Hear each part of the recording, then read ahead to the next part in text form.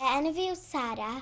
Y hoff peth fi ydy chwarae gyda ffrindiau, nofio, goginio a marfer corff. Rydw i wedi dod o'r Syrian yn un blwydd oed a fi wedi dod, a fi wedi dod i Aberteifi yn chwech oedd Lebanon yn chwech blwydd oed.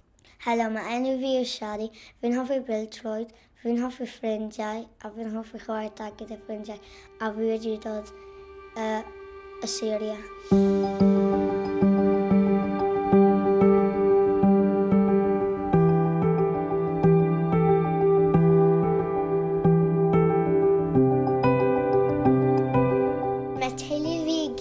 hapus, ond mae, da, yeah, mae dad fi'n hapus, ond mae eisiau dod mynd nôl i Syrien a mam, ond uh, ni, ni, fi a brawd eisiau gweud na, achos ni eisiau bod, achos ni eisiau uh, bod mewn Aberteifi.